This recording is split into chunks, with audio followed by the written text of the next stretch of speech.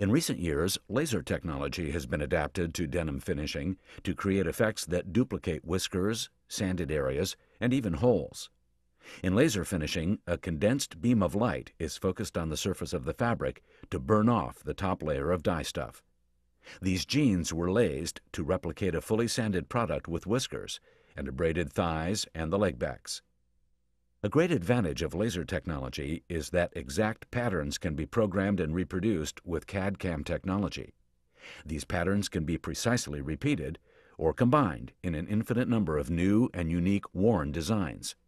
Laser etching also takes less of a toll on fabric strength retention than many other techniques. Laser etching can create a wide range of effects, for example, holes. When cotton yarn is exposed to high-intensity laser light, it becomes charred. The charred areas quickly form holes when the garment is afterwashed.